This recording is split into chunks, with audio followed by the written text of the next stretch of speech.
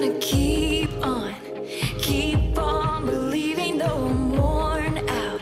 I'm down but not defeated. It's a fresh start, rising up, reaching out to me, reaching out.